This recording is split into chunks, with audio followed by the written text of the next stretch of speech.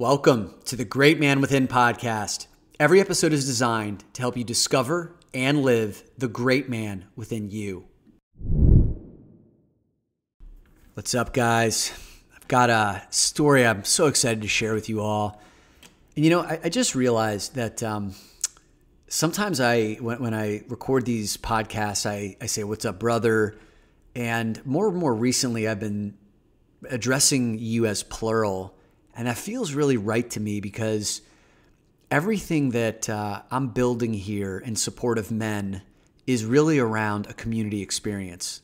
Like, I, I know that most of you listen to this by yourself uh, on your own, whether you're at the gym or in a car or wherever you are as you listen.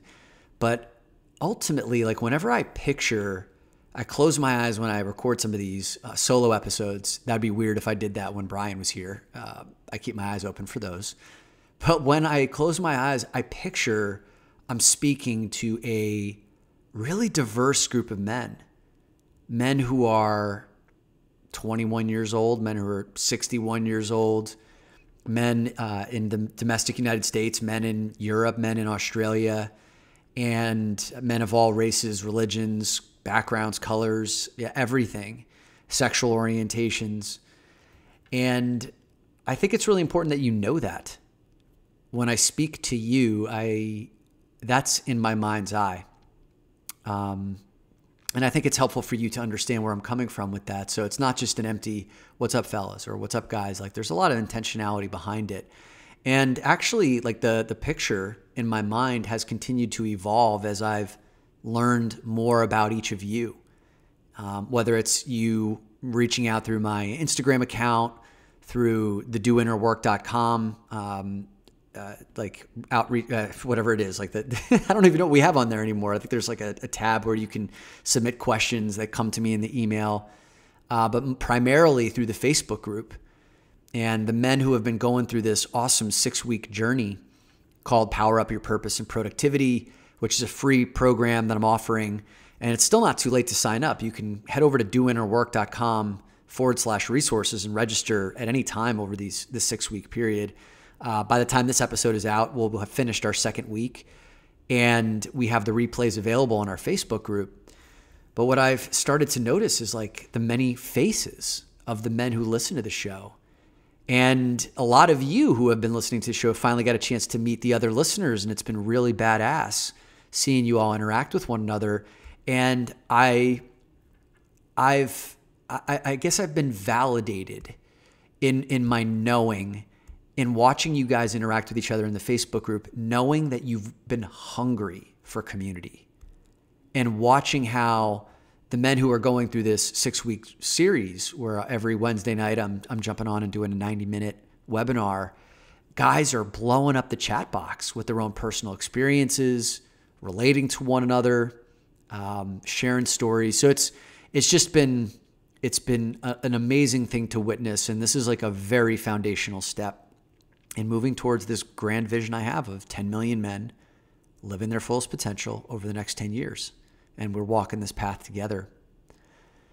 So, I, one of the things that has really surprised me, guys, is the feedback that you gave me on an episode that I did a few months ago called It's Time to Get More Curious About Your Father.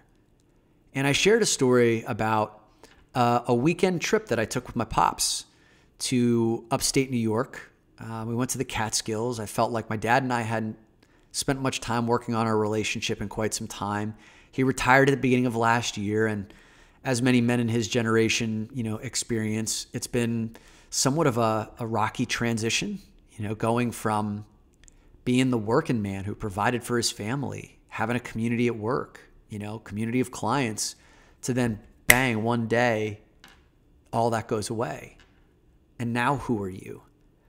And again, like many men of his generation, you know, um, because he was working his ass off to provide for our family, never really asked questions about what he wanted for himself in the in the afterlife of of, of the working career.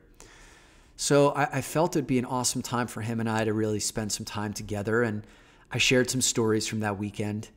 And you guys reached out in such a such a powerful way, telling me how many of, of, of the experiences I shared triggered memories um, good ones, painful ones, um, desires to reach out to your father again and uh, reestablish a new connection with him or to ask him questions that you'd never asked him before.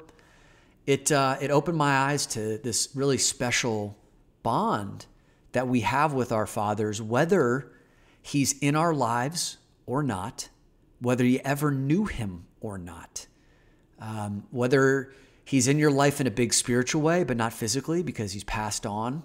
You know, there's so many different ways that our fathers show up in our lives. And I'd love to talk more about that with you guys. And in fact, with the, uh, the mastermind, the Great Man Mastermind, we're getting together tomorrow night and we're doing our second segment, a second conversation on, um, on fatherhood. The first time it was the, the fathers in the group who were sharing about their experiences being fathers. Tomorrow night, I think it's going to be more of a conversation about our fathers, right? Like son, like us being sons and what, what that's all about. So just exploring that dynamic between sons and fathers at a much deeper level is something that's really seemed to be interesting to you. It certainly has been for me. So the story I'm so excited to share with you guys is something that just happened over this past weekend. And it was one of these moments that, like, kind of just started off like any other. And then I believe turned into one of the transformational moments in my life. So, for some context, you know, over these past, I would say, 10 years or so, as I've, I, as I've been on my inner work journey and as I've been really stable in my business, have, you know, financially become secure and a lot of those things that my father, both my parents, but you know, like we're talking about fathers here, that my father was really there and playing a big role in my life, a lot of those roles were no longer needed because I'd kind of I'd become self-sufficient in those places. And I, noticed that over the last few years, my father ha- has been kind of struggling to figure out like how do how do I how do I let my son know I love him? You know? I mean, he he he's unequivocally his heart is like I feel it all the time. It's ever present, right? My father would literally, I, I, truly mean this, like walk in front of a bus to save my life. Like truly. And not just mine, like the people who he loves. That's the kind of man that he is. And it must be challenging for him to look at his son who he thinks has it all together and and be like, well, you know, like where do I how can I fit my love in the crevices of his life that, you know, maybe needs it, but it looks like he's just got everything put together, which, you know, clearly you guys listen to the show, I don't. Um, but I think that a lot of fathers can relate to that experience. How do I love my son in these different and new ways? And, you know, in looking at how I've shown up, I, I think I could have done a better job over these last number of years in offering up ways that my father could express and show his love to me. I certainly receive it, you know, when he does these little things for me. Like if I ever come home and need to borrow a car to go, you know, on a road trip, like the guy, I mean, this is this is like a test, like just like get a sense for who he is. The car has a full gas tank every time. He makes sure the oil has been changed if it's like, you know, if, if it's been a while since the oil change has happened. He'll he'll even get new tires for the car if like if it's been if it's even within like 3000 miles of needing a replacement. Like he's like he he he's devoted in that way. And I've always appreciated me. It's just it's almost like overwhelming sometimes how much he loves me. So as we've been trying to figure out like what are the ways I can allow his love in, or I've been trying to figure that out, a situation presented itself the other day. So on Saturday morning, I had I'd woken up. I was so productive that morning. I got to the gym, crushed this workout. I'm feeling great getting back in the gym and putting weights on my body after, you know, seven months of being in isolation and lockdown. I'm starting to feel strong again. So on, on Saturday morning, I'm walking home from the gym. It's like usually a 10, 15 minute walk, and I'll call my parents. And it's rare when I get a chance to call home and my father is the only one that's home. Usually, my mom's buzzing about somewhere, and my mom is like the ultimate eavesdropper, especially when my father and I are talking. Like, she won't leave the poor man alone. Like, she's always over, like, like always hovering around, listening to the conversation, makes him put it on speakerphone. So it's very rare that my dad and I have this like one-on-one conversation. And I noticed like seven minutes into our conversation that like we we just seemed to be alone and that you know the, the pace and the tempo was was slower than it usually is. I'm like, hey dad, is mom is mom not home this time?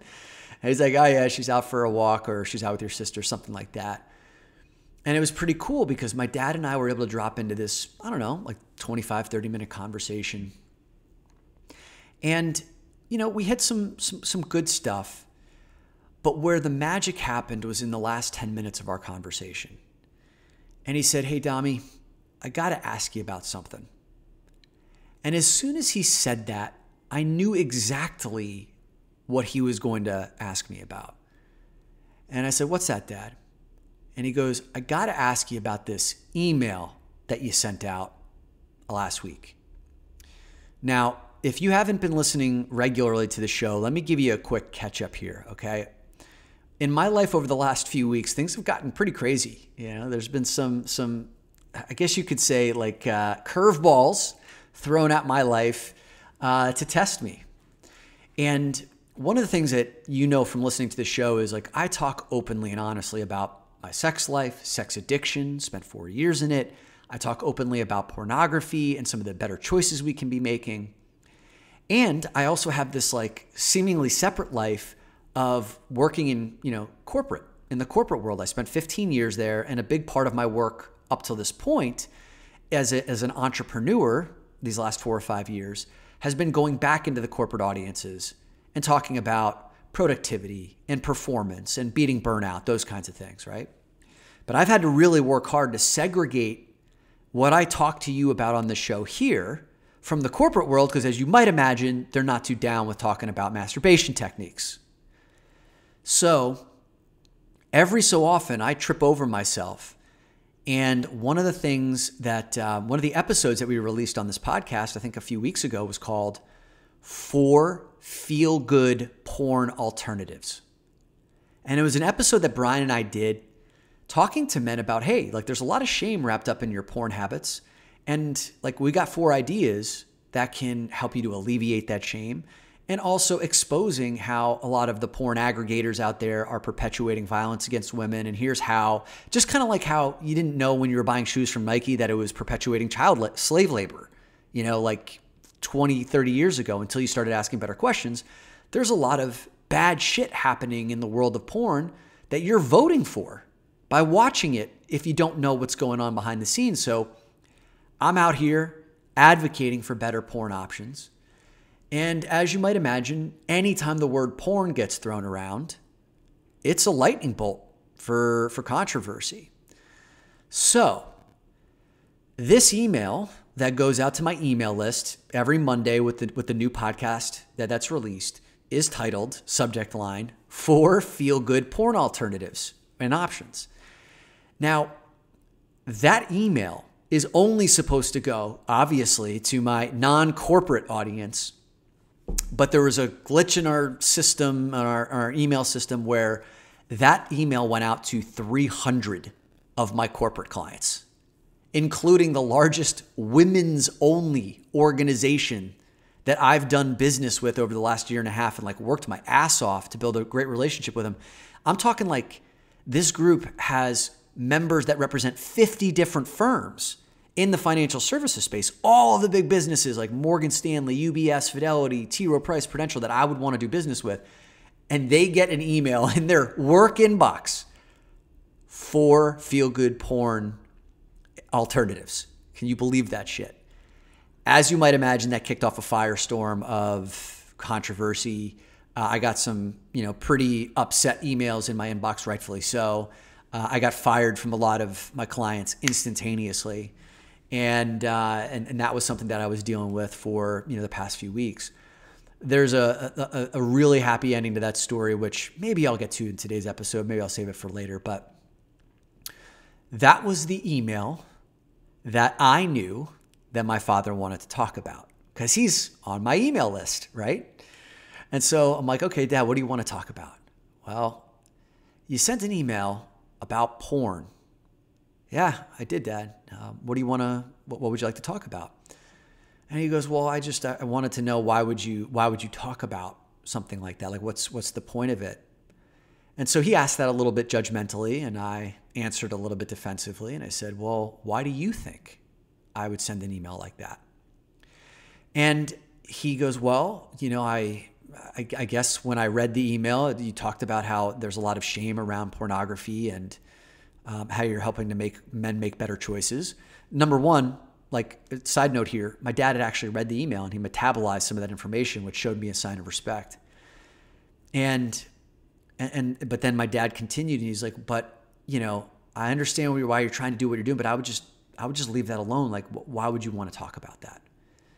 And I said, well, Dad, thank you for for actually for bringing that question to me. I I actually I respect the courage it took you to ask me. Here's why I talk about this stuff. You know, a big part of why I ended up in Sex Addicts Anonymous and why I still have shame around my sexuality that I'm working at resolving is because we don't talk about this stuff. Because these sexual feelings that I had as a young kid that were so natural, that were God given, were made to be perverted or sinful or not welcome or wrong or bad and certainly not talked about. But when I discovered it on my own, I was left to fumble around in secrecy and isolation. And if I'd had some proper guidance, like my sexuality could have ended up being a beautiful thing, but it, ended up going in the shadows, in the darkness for decades. And now, so many other men who didn't go as dark as I did can relate to that today, where they watch more porn than they want to. It drives wedges in the hearts of their relationships with other people, with other, you know, their sexual partners. It makes them feel bad about their body image or their sexual performance. I just went on and on and on and on and on and on and on and on. I explained all of the reasons why. And then when I finished, my father said, Well, I'm glad that I asked. And in that answer, just, just, the, just the one sentence that he said there, I could tell he didn't fully understand or fully accept, but he gave me his blessing. Like, do you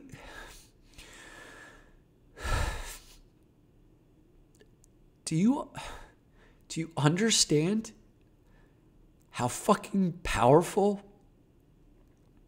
a father's blessing is in a moment where me his son is in such a raw and vulnerable state having gotten my ass kicked for the previous 2 weeks from women's groups, from clients, from my own inner critic, doubting myself and, and how I'm going about what I'm doing in this world. And the courage it takes for me to speak out openly about this stuff, knowing that people won't always understand and will make a snap judgment in a moment's notice and disregard all of the other good things that I've done just because I use the word fucking porn. And they'll dismiss everything else. But in that moment, for my father to give me his blessing, which I didn't even know how badly I wanted it, it turned a switch inside of me that let me know I was okay. More than fucking okay that I was, that, I had my father on my side. And he's always been on my side, always. But we need reminders of that, don't we? And so my father, man, he still got moves. my father still got it. And what that's done for me in these last four days 96 hours, if I'm doing the math right. Am I doing the math right? Yeah, 96 hours. I've made the decision that I am walking away from all of my corporate work. I'm firing my corporate clients compassionately because I'm tired of fucking bifurcating myself. I'm tired of presenting one side of me to the world that will be accepted and socialized and praised and approved because it doesn't ruffle anybody's fucking feathers. Tired of it. I'm one man now. I get to be me. And that day that I had that conversation with my father, there was an unleashing, an unshackling, an uncaging of a part of me that had been dying to fucking come out for decades of my life that felt unwelcome, unsafe. And now I've got my voice. This wild man inside of me that has been locked up for way too fucking long has things to say, has power to give. And I realize that I've been toiling around diluting the message to you guys diluting the power I could be bringing to the men of the world. The 10 million men that we keep talking about, that I keep talking about, who could live their fullest potential if they could only fucking hear me. But I've been muting my voice so that I don't ruffle other people's feathers. That is a disservice not only to me, but to humanity, to you guys, to the men that you can impact to the businesses and communities and families that you can impact. And now I feel like a new man. Every day this week, I've popped out of bed. I could barely sleep because there's something that has been stirring inside of me for so long that is finally here. I'm creating like I've never created before words are falling out of me, stories are falling out of me, keynote speeches are falling out of me. Actually, just yesterday, I had a 30 minute keynote speech for Prudential, which was where I spent 15 years, my only 15 years in the corporate world. And I had a 30 minute keynote speech for 700 people that were logged on that I had a, a, a message prepared for with like fancy slides and you know, a whole bunch of facts and figures and stats and all this like intellectual bullshit that was intellectually sound. It was a great it was a great presentation. I scrapped all of it. Wrote something from the heart in the 48 hours leading up to it. Used no slides. And I shared three stories about when I experienced greatness at Prudential and I left them with 10 principles of leadership that fell out of my heart that I could only write for Prudential that no one else gets, only Prudential gets. And I delivered the best keynote speech by far that I've ever done. And after it was over, I experienced I experienced praise like I've never experienced before.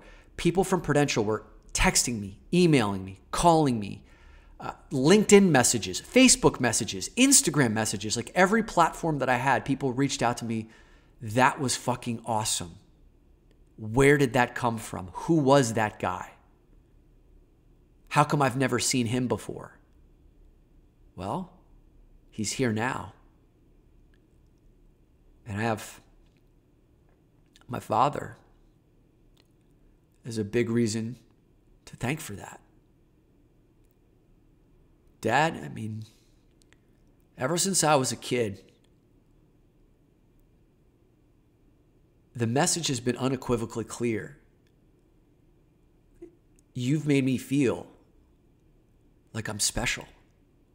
You've made me know that I am. Your love has been unwavering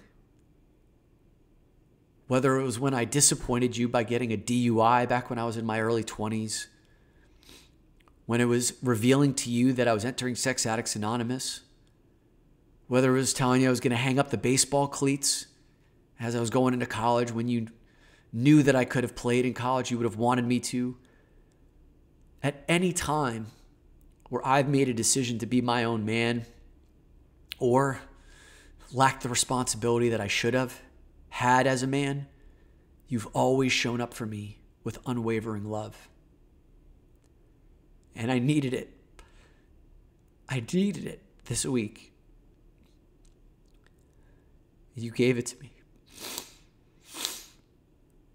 And not only did you give it to me, but the men who are listening to this episode right now, and the men who whose lives I commit to impacting from this point forward with my newfound voice and inner power, have you to thank. So, Dad, even though you're retired, man, you still got it.